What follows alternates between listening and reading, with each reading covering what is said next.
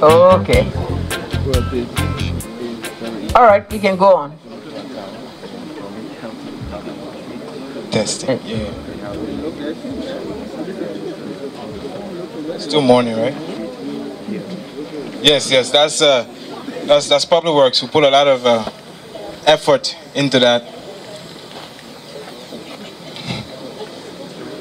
No, um, so thank you, Madam President, and distinguished colleagues, ladies and gentlemen. We're very pleased uh, to be at the Ministry of Public Works. When we think about the Ministry of Public Works and what we're trying to achieve at the Ministry of Public Works, we like to think about uh, uh, German cars, uh, especially the BMW and the Mercedes. They look so beautiful on the outside. They're very deceptive. Inside, they're it's just raw aggression. And that's what we intend to do at Public Works. Right now, in country, we have the capacity to do at least two miles of road a day, pavement. That's what we're capable of doing at the Ministry of Public Works. And we intend to.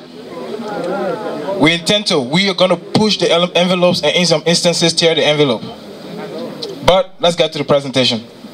Um, so this is the background, blah, blah, blah, blah, blah. Um, you know, when Public Works was established and all the, the mandate, basically what we're responsible at Public Works are vertical and horizontal infrastructure, roads, bridges, bridges, public buildings. And before you build anything, we're supposed to approve your plans before, and we're to be very strict on our regulatory portions of, of, of the, the job at the Ministry of Public Works. We're supposed to do zoning.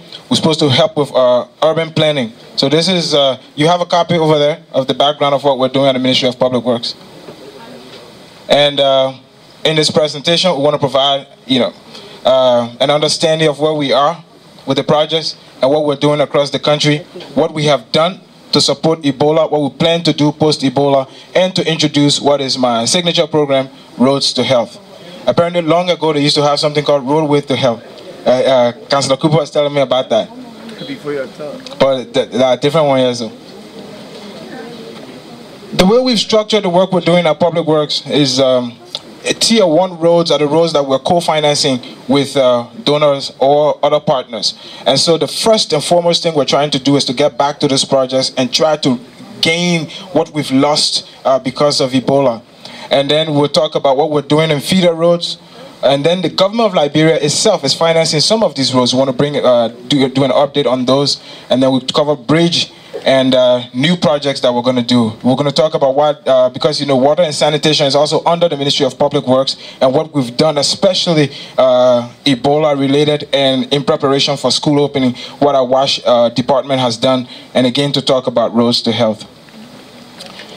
These are the roads. Uh, Clarence talked a little bit about them, and we try to structure them uh, first with the ones that are being paid for uh, along with us by partners.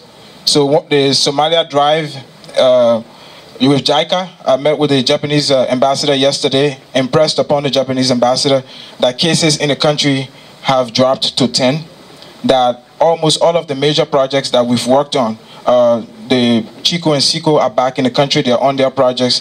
Where a new contractor, a Senegalese contractor, is now mobilizing to do Ganta to Yekepa, and that uh, the African Development Bank project is underway. The only major road project that is still not yet moving forward is the Japanese project. He told me that on Saturday, all the Japanese ambassadors in West Africa are meeting in Accra, and the only thing they're discussing is when to re-engage. So hopefully something good will come out of that. He said his meeting, his visit to Liberia will allow him to send fact-based reports back to Japan. So that's pretty good.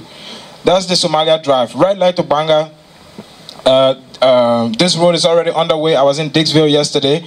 We've had some problems with the the trucks moving aggregate, the road is very bad, and so the community people wanted some intervention on the roads. We went there, but this project is already underway. We're very happy uh, with that, that SICO is back in the country, and much credit goes to the Chinese ambassador who worked with us to get those companies to come back and, and start working. Then uh, uh, Gbarnga to Ganta to the Guinea border, that's the lot two. Besides Ebola, these projects have had uh, they have been stalled in the past. And basically, is it has been the responsibility of the Liberian government. The way it works is that once the the road starts, the government of Liberia, when, we, when the road design was done, we, we found all of the structures, farms, private property that are encroaching on the right of way. And the right of way is design is uh, determined by 75 feet from the middle of the road to the left to the right. So it's 150 feet. Anything falling within that is in the right of way and has to be removed. In some instances, if it's too, too expensive, we will sometimes align the road. And so sometimes you'll be driving on the road and you see the road curving. The reason the road is curving is because uh, sometimes a RAP was too expensive, and that's some of the things that goes into that. Now, on this, we have to go pay for the assess the property, do the verification, pay the families that own the property, then give them grace period to be able to find alternate living uh, uh, um, arrangements. Then we go in and do demolition. When that is finished, we turn over that section of the road to the contractor to be able to do it. Many times in the past, the contractor has finished portions of the road that Public Works have turned over to them, and there was nothing else for them to work on because, according to the contract, the contractor cannot move forward until RAP has been settled. That pro pro problem looks like it's been solved for good. The Minister of Finance intervened with the World Bank. We have $8 million to settle RAP. We intend to use all the $8 million on RAP. And the Ministry of Public Works will turn over every single portion of the road to the contractor and stand back and allow the contractor to do the work. This time, like I said again, we have enough equipment in country to pave two miles of road a day. Now, it's uh, 1.609 kilometers to one mile. And some of the roads that we're doing are about 80 kilometers. So in 40 days of aggressive work on the road, some of those works can be done. Now, it's not going to be that way because sometimes uh, in Liberia, most times when we build roads, there are so many water crossing sections. And every time there's a water crossing section, you have to put in culverts, depending on the size of it. If it's too big to use a cylindrical culvert, you use the box culverts. And if it's too big for a box culvert, we have to do bridges. Okay, sorry.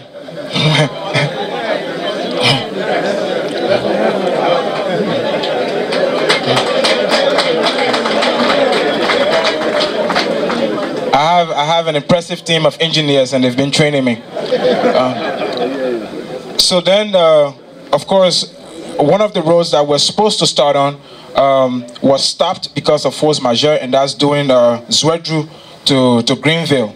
It's actually Zwedru to Nyafratama, Zwedru to Greenville, and that was supposed to be done by Putu Mining Company. That was stopped because of uh, uh, uh Ebola we're going to get work with Minister Sendolo to see how we can engage them to start on our project again.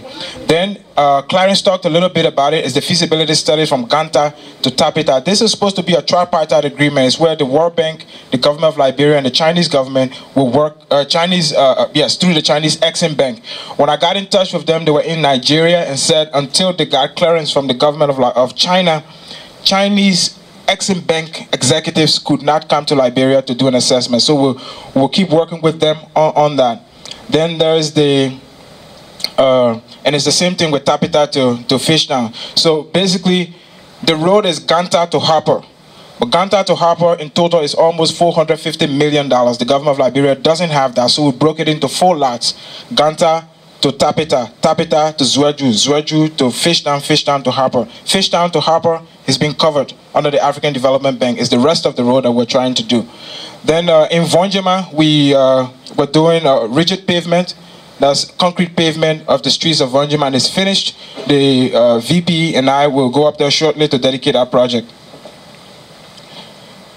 Ganta to Yekepa, the contract uh, the contract has been signed. The, the uh, contractor is mobilizing. And that's a $52 million contract. And on this contract, again, we've stressed to the contractor that 20% of the works will have to be subcontracted to a majority Liberian-owned company. It is important It is important that we give Liberians an opportunity to participate in the construction of their infrastructure. It helps them to be able to get experience doing big projects, but it also helps them to make money, especially if we're going to do the economic recovery. Then there's the Kaloke to Harper. This contract was already signed. The contractor is in the southeast as we speak, and they're also mobilizing. And on the day we signed this contract, we were informed by the African Development Bank that the bank has approved an extra $190 million to cover from Kaloke, from Fishtown to Kaloke, and then from Harper Junction to the border with Polo and build a bridge from Liberia to Cote d'Ivoire over the Cavalla River. So we're very excited about that. We're very excited about that. Uh, again, we are going to talk to the, Afri- to, to, to the World Bank and it, to the African Development Bank. And if we can't do this because this project has already been done, then we will talk to the contractors who win that at least some of these works be subcontracted to majority Liberian-owned companies. 20% of $190 million is a lot of money. And I believe that lots of companies here who will benefit from that. We've also encouraged our Liberian companies that because they are so small, they can combine and do joint bids and increase their strength in terms of bidding on these projects. But as most of us know, everybody likes to be the big chief. So that has been a problem. I think we ought to, as ministers and, and public agencies, engage them so that they can be able to partner and be able to uh, bid on some of these projects. Then there's the um, ELWA RIA Buchanan. This is a maintenance contract. It includes restoration of the shoulder. I explained this when I laid out my, my, my uh, dry season plan. Sometimes you're driving and the taxi stops to pick up a passenger or drop off a passenger and the, the taxi doesn't leave the road. The reason is because the, the, the shoulder is so steep and because the sedans, if he gets off the road, it becomes very difficult for him to get back on the road.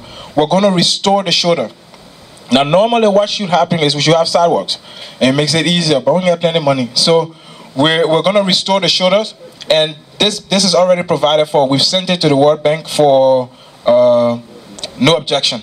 And I, I, met with the tax team leader for Liberia, and he told me he has already submitted his comments, so they should start shortly.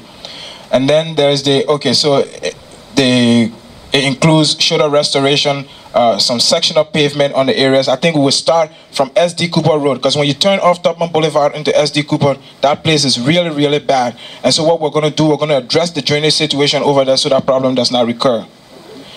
Gbarnga to Mendikorma, I sent uh, uh, Gbarnga to, to so that's Konia, Mendikorma, uh, Gbarnga, Konia, Konia, Mendikorma. I sent a letter to the Minister of Finance informing him that feasibility studies and bidding documents have been done for this. We can't move any further until we're certain that there's money to be able to do this.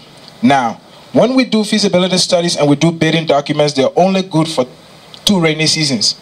At the end of the second rainy season, there's substantive changes, material changes to the quality of the road so that if you're giving people the same document you got two rainy seasons before, the profile of the road has changed. So I mentioned that in my letter to the Minister of Finance that we got to find money in the next two rainy seasons for this, otherwise we'll have to do the, redo the feasibility study. That is resilient. That health system has to be built to operate in the rainy season. Because to build a health system that works only in the dry season is, is practically useless. It's a waste of resources. And so our argument is that roads will have to be considered as part of the health infrastructure. If we're going to, yeah, please, please, go ahead, do the clapping.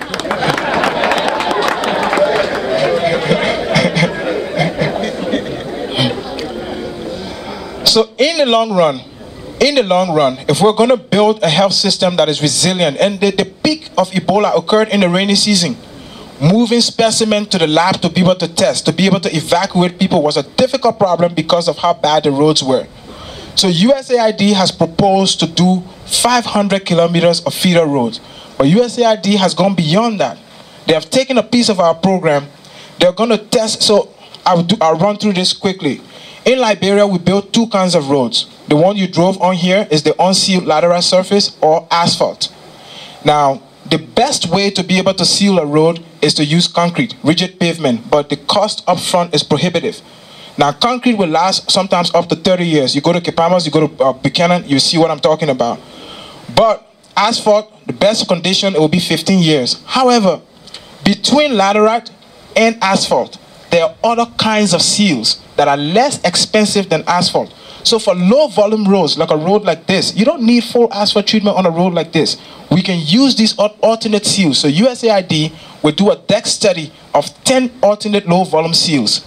They will test five on 50 kilometers of road, and at the end of the test, they will propose three to the government of Liberia.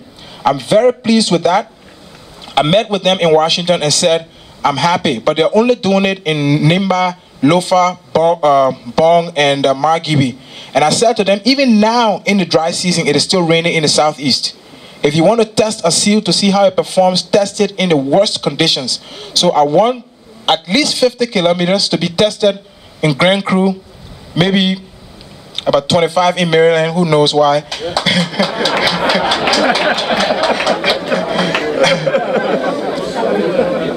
but to test these seals, and eventually, what's eventually what's going to happen is that for our main roads, our main arteries, we'll continue to use asphalt. But our secondary roads and our feeder roads, we can use different low volume seals, which will perform better than laterite and we keep our hospitals and health services uh, accessible in the middle uh, in the middle of the rains. I should finally say that at the Ministry of Public Works, we're trying to make do a lot in a short time. Think about again the German vehicles, raw aggression. But currently, there are five structural engineers in all of Liberia. Only one works for the Ministry of Public Works. So we want to send at least five young people currently with first degrees in engineering to go to Tanzania, Uganda, Ghana, and, and become trained so that they can come back. Because ultimately, as UNMIL withdraws, as the soldiers withdraw, the engineering units of UNMIL will also be withdrawn, and whole sections of the country are being maintained by them. When they withdraw, it will be the, the responsibility of the Ministry of Public Works to do that. We need to begin to anticipate that and plan toward that. Now, finally, please show my video. Dude, President member of a group from Turkey that proposed using Turkish Exim Bank financing to do uh, double carriage from ELWA Junction to, anyway, I'll just let you see. So I asked them to visualize it. Is, start it again, please. No, no audio. This is from ELWA Junction going to Roberts International Airport. I asked them to do an animation, so check it out.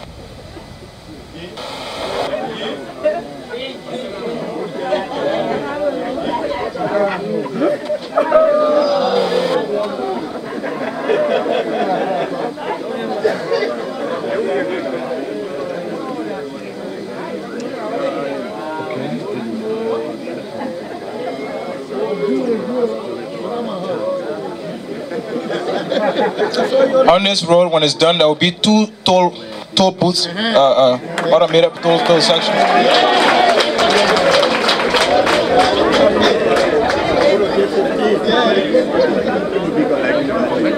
And this is uh, when you get to Roberts International Airport, that's what the road looks like. Uh, so, ladies and gentlemen, we, we intend to be aggressive at the Ministry of Public Works. and, to be able to deliver quality infrastructure for our people. This is attainable. The company has already done, done the feasibility studies, and, and we, need, we need to challenge ourselves. And I think that's what the president wanted when she appointed me at the Ministry of Public Works. Thank you.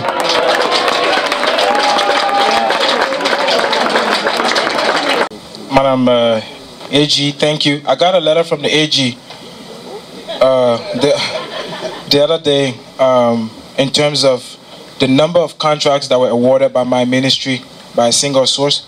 And uh, we,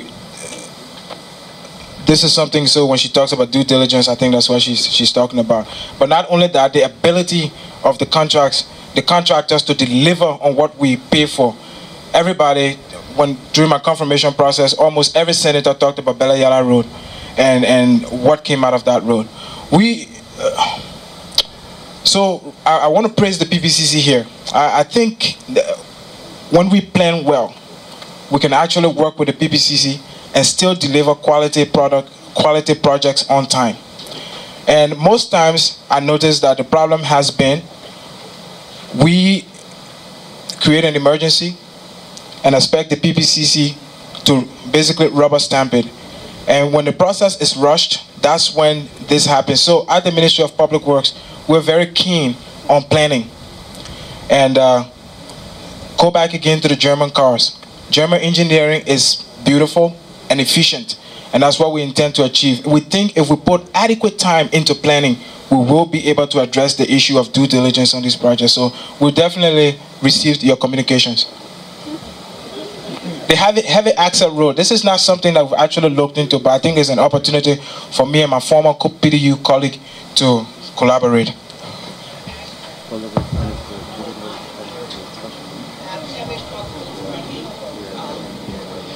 In the in the mining areas, you have exit uh, heavy trucks bringing uh, roads like uh, I mean uh, items like logs, like uh, even the um, iron ore. So when you build these roads, you have to factor in that because that will also cost and you mentioned about the roads too. It's very important that sometimes if we build these roads, okay, quickly, it's fine, you see it, but then in a year or so, we go back. Because remember, we're on the sea level. So sometimes in the planning process, it may be feasible to go to do it and let it last. And, you, and I, I thank you for mentioning maintenance. But heavy access is very important, and maybe you could work with the miners to do. I should talk, I should talk quickly about the, the maintenance. We worked with the president and uh, the minister, it was the minister of justice, and the minister of justice, and we tried to, we're trying to create a road maintenance fund and begin first with few levies. The road maintenance fund will make road maintenance predictable and systematic. Currently, what happens is, you know, the president passing somewhere in the road block, then she call, and then we go there, we fix it. What we're, what we're trying to do is to strengthen our maintenance department. And the only way to be able to do that is to be able to establish a fund. And the way we, we intend for the fund to be managed is at least 30% for primary road maintenance. Would, no rehabilitation money will come out of that, just routine and periodic maintenance. 30% for secondary road, 30% for feeder roads, and about, you know, 5% for, uh, uh, no, no, no, for emergencies. For example, the Timber River Bridge collapsed. It wasn't planned for in the budget. You can go to the road maintenance fund and take money out there to be able to do it. We have prepared a legislation that we give to the president to submit to the legislature, legislature in this sitting so that we can be able to establish the road maintenance fund. But the road maintenance fund will also address that because with the road maintenance fund, we install weigh bridges so that for trucks and, and big vehicles, there, there will be, and we're working with the our colleagues at the Ministry of Transport to pass the axle load law that will allow us to be able to uh, regulate the volume and weight on our roads, and that will be able to prolong the infrastructure. We have done a few things recently which we think are worthy of noting. One, every road contractor that received financing from the Liberia Bankers Association, or one, one of our nine-member banks, have had substantially penal charges which have accrued on their accounts waived. That is a huge act, but we've, we've, we've, we've committed ourselves to the government and we've done that. In some instances where the contractor is a significant player in the, the, the, the in the uh, actualization of these projects, We've also done some restructuring with regard to the arrangement they have with the government, and in some cases, we've reduced interest rate. And the reason we've done that is because we believe that in this post-Ebola agenda, with regards to which direction our country takes, we also have a fiduciary responsibility to ensure that we meet all stakeholders halfway. So we've been very patient, and we've, we've, we would like to mention that to you. We also we appeal to you to not leave us behind in your uh, uh, uh, your engagement. For example, there are two endeavors that we engaged in. One with Family International, and another one with with a company from Sweden uh, for the the procurement of heavy equipment with regards to the role of contracts with specific emphasis on domestic contractors as a way of helping to improve and enhance their capacity in service delivery so that they too cannot be denied the opportunity to bid effectively for some of these contracts. We will be very happy to you know, discuss in, at length with you in terms of the modus operandi and the fine points of these, these uh, arrangements. You elucidated very well about roads, and we agree. But there is one building in central Monrovia, Mr. Minister. I don't know what role your ministry has with regard to that building. That building is the E.J. Roye building. Before it, you have a very splendid central bank. Is there anything on your agenda with regard to that building and some of the other major landmark public buildings which are giving our Monrovia skyline a difficult suit eye? Thank you. Uh, just quickly to that, um, Mr. Davis, the uh, credit to GDP ratio of Liberia, I think, is 20%, and that is what tracks commercial bank lending to the private sector. of that 20%, at least half of that is provided is the commercial banks lending to rural construction companies. And so they play a huge role in, in, in our infrastructure, especially LBDI, which is the only infrastructure development bank in the country. So, Mr. Mr. Davis, thank you. On the, the EJ Roye uh, building, that is a public building and is the responsibility of the Ministry of Public Works to do an assessment of the building. I think before he took his new assignment at the Ministry of State, uh, Minister Edsa Smith did an assessment of that building, but it's also been brought to my attention that there are there is a public corporation in Liberia that is interested in the building. Uh, beyond that, yeah, yeah, okay. and, and something will be done about it. Thank you.